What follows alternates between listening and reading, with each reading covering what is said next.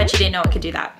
What I have here in my hand is the wide angle lens attachment. We finally got an attachment for the Sony ZV-1. Now, when the Sony ZV-1 was released, it was supposed to be the ultimate beginner's camera. Take it out of the box, point and shoot, vlogger friendly. The, the camera is literally marketed as a vlogger camera. There's a vlogger kit that comes with it.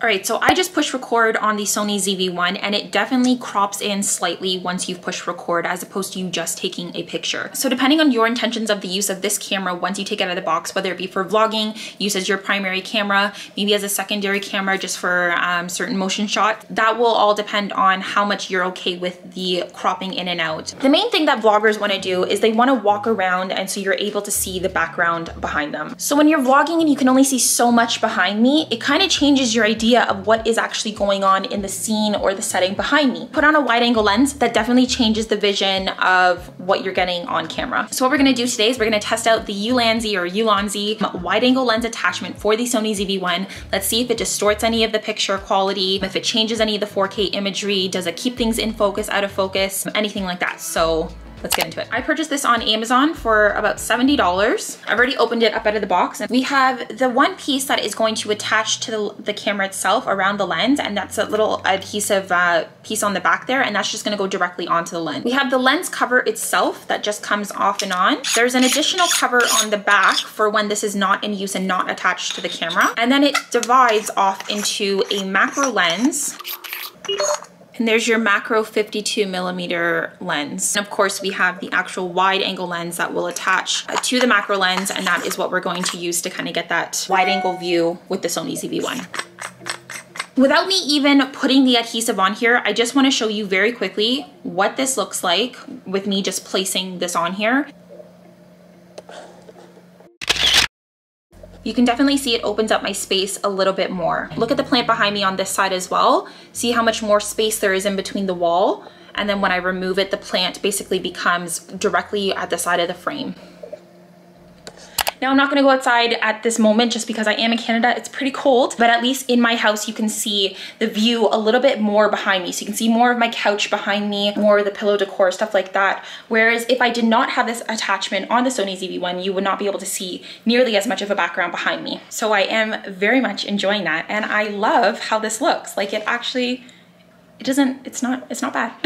it's not distorting any colors at all within the Sony ZV-1. This does have really great color correction kind of built into it. The other great thing too right now, since I'm vlogging, I can actually bring this camera in a little bit closer to me because you can still see more of my background. And I'm actually using the onboard camera with the dead cat attached to the Sony ZV-1 and you're able to, I hope, hear the audio quality a little bit better because I'm able to bring the camera in closer and you're able to see more around me. Whereas before, if the lens was not attached, I'm kind of filming a little bit further out so you can get a wider angle, this kind of same effect, but the camera mic is now a little bit further away from me, so it might distort the audio a little bit. Wow, and can we just appreciate how much better the tight space in this hallway looks with the wide angle lens attachment? It just changes things. I just think it looks 10 times better. You can see more. And as you can probably see as I'm walking around my house, the lighting definitely changes depending on the room that you're going into. I'm gonna go into the bathroom right now where there's typically more yellow lighting.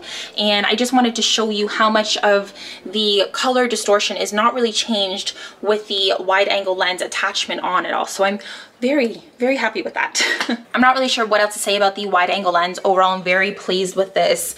Um, I will link it in the description box below, the Amazon link for the Canadian and American uh, link to the Ulanzi Ulanzi wide angle lens attachment for the Sony ZV-1. I am noticing a decent amount of weight added to my arm just by holding this. So if you are gonna be walking around vlogging, just keep that in mind. I did just attach the Sony ZV-1 to the Vlogger Kit tripod that came with the Sony ZV one and it doesn't seem to be causing any issue with unbalancing the tripod at all or making it want to tilt. If you do want to watch two five quick minute videos about my thoughts on the Sony ZV-1, both nine reasons why you should buy the Sony ZV-1 and nine reasons you should not buy the Sony ZV-1, click here, I'll link them here. Um, let's try out the macro lens actually and see how that performs. Then the macro lens of course is just going to be for extra, extra super close uh, shots that you might wanna have. Another thing I had mentioned in my nine reasons to not buy the Sony ZV-1 is that I didn't find that the camera itself took very good photos close up when you were zooming in, in comparison actually to my iPhone XR uh, while shooting in 4K. I prefer to use the 4K and it might just be user error, I can admit that, um, or simplicity of the iPhone just because I've had it for so many years, but I just didn't find that the Sony ZV-1 uh, camera matched up to those very close um, photos that I might have wanted. So I'm gonna try that out right now. Let's go ahead and take off the wide angle lens. So this is just the macro lens right now. And it seems like the camera's having a little trouble just focusing on an object. So it's very blurry on the screen here right now. But as I focus in on one particular object, let's go into the plant here, you can see that it definitely focuses in a lot more. And just so we know, I have taken off the auto defocus in the background, so it's not going to blur it out too much now, but I am still noticing a little bit of blurred on the right side there. I don't know if you guys are picking that up in the frame at all. This is the furthest that the zoom goes with the Sony ZV-1 with the macro lens attached to it. That's about as clear as a picture as we're going to get. And let me just actually screw off just so we can get an idea of how good the zoom would have been without this lens attachment. Now, I don't know if it's because I've moved or not, but you can see that the three pieces of the plant that are at the most forefront of the frame are a lot more blurry than what is in the background. And again, this is the most zoomed in that the Sony ZV-1 can be. I'm just gonna zoom out a little bit. You can see a little bit more focus there as we zoom out. And then as we continue to zoom out, obviously it gets a little bit more focused. Like I had mentioned before, the Sony ZV-1 is not my favorite for um, taking pictures or videos at a super zoomed in level just because I feel like it distorts it a little bit. But if you do want to use this for taking pictures at all, I don't see any reason why you could not use the macro lens with a little bit of the help of the Sony ZV-1 for zooming in to take more detailed photos. Macro lens and without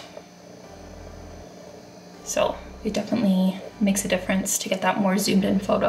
I'm overall very, very pleased with how this lens performs with the Sony ZV-1. It's like I keep saying, it's not distorting any of the image quality. It's not distorting any of the colors. Um, you can definitely see a lot more in my background. So I think I definitely will continue using this lens while I'm doing my primary videos and not just only for vlogging, just because it, it gives a bit of a nicer uh, background touch, I think. So let me know what your comments are below. Have you tried out the Sony ZV-1 and the wide angle lens attachment specifically? How are you liking it? How are you not liking it? Anyways, so I'll catch you guys in the next one. Thanks for watching. Bye.